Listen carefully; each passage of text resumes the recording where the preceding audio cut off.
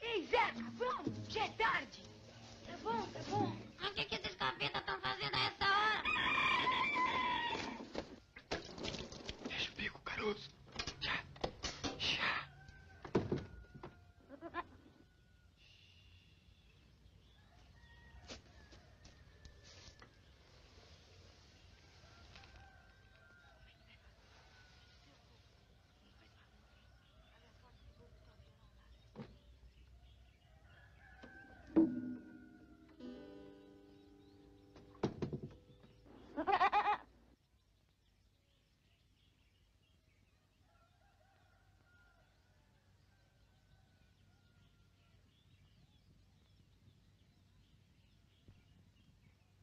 Vai encontrar.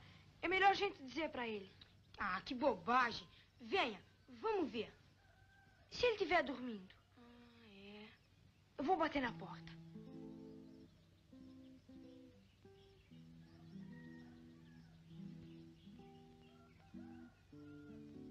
Viu? Não te disse? É.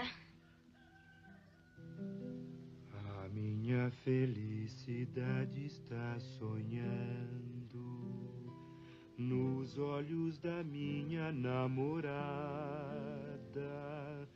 É como esta noite passando, passando em busca da madrugada. Falem baixo, por favor, para que ela acorde alegre. Olha, ele está nascendo. Olha. Oferecendo beijos de amor. Era verdade. Tristeza não tem fim. Felicidade sim. Boker Tov Talmidim, and welcome to a, another episode of Soulful Psalms. So today we're going to be looking at Psalm 57, and what you've just seen, you know me, I love my cinema, is a clip from uh, the Brazilian 1959 movie Black Orpheus, and it is a retelling of the uh, myth of Orpheus uh, as if it happened in a, Brazil- a Brazilian uh, favela, uh, in a in a ghetto, in a black ghetto. And uh, in this particular scene, um, Black Orpheus has told children that it is his singing and his playing of his guitar that actually causes the sun to rise. And uh, in this uh, wonderful mythic moment, uh, the children take that completely seriously and uh, they arm him with his guitar. He starts to play, and indeed, the sun rises. So uh, it is naive, it is lovely, it is mythological, and it uh, is germane to what we're going to be talking about in Psalm 57. So Psalm 57 uh, is uh, has some brief references to an enemy and a threat, uh, but it has two simply lovely images in it that I would like to share with you. So it begins, verse 2, there is a superscription, not really important. Have mercy on me, O God, have mercy on me, for I seek refuge in you. I seek refuge in the shadow of your wings until death passes. Now, the image of God having wings is um, weird and fantastic. It sort of very much fits into the ancient Near Eastern traditions about deities, which you can often see on Assyrian frescoes and things like that, that divine beings have wings. But really, from other parts of the Bible, this is a metaphor. Uh, and the metaphor is that of a mother bird uh, sheltering its its children, and that's really what's meant here. But the image is so evocative and so beautiful, even though it feels very archaic to us. I love it. I think it's beautiful. And uh, to be sheltered under the uh, shadow of your wings or under the corners of your wings, to me, is just something that never gets old as a metaphor. You know, sometimes we're a little uncomfortable with ideas like God as a king or God as a father, but this one works for me all the time, and I hope it works for you. All right. So um, this section uh, through three and four continues like this I call upon God Most High, to God who is good to me. He will reach down from heaven and deliver me. God will send me down his steadfast love.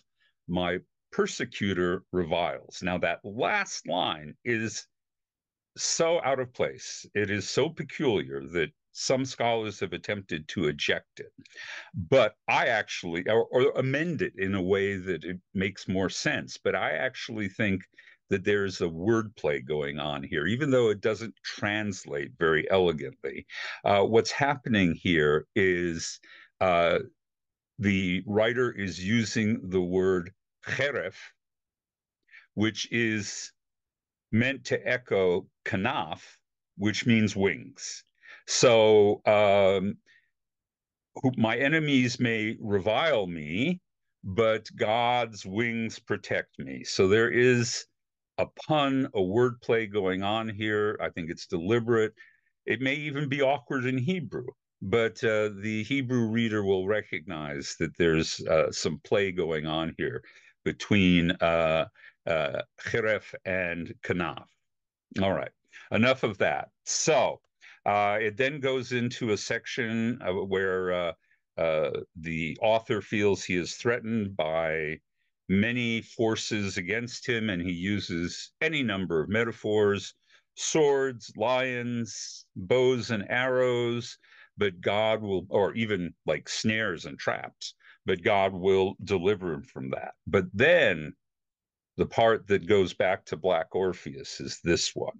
Uh, at eight and nine, it says, My heart is firm, O God.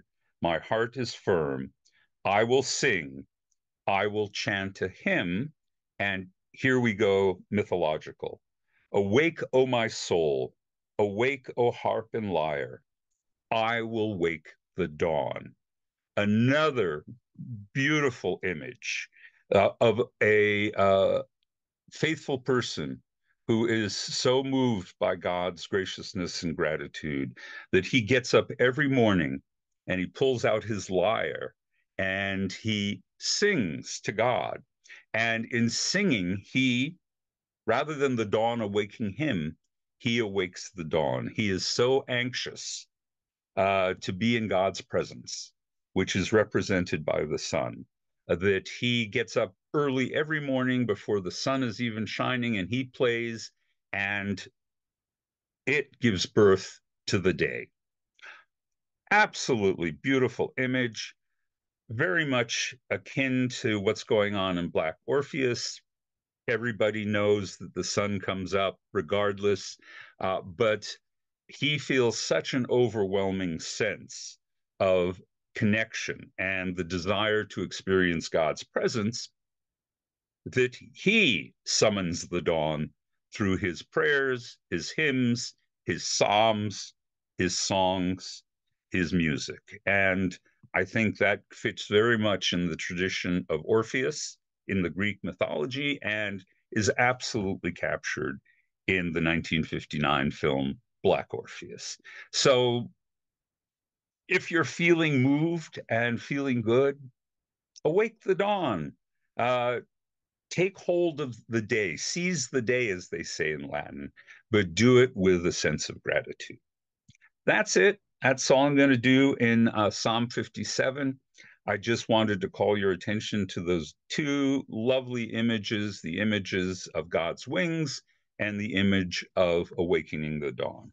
Uh, thank you for coming in this week, and we'll have something next week. Take care, all.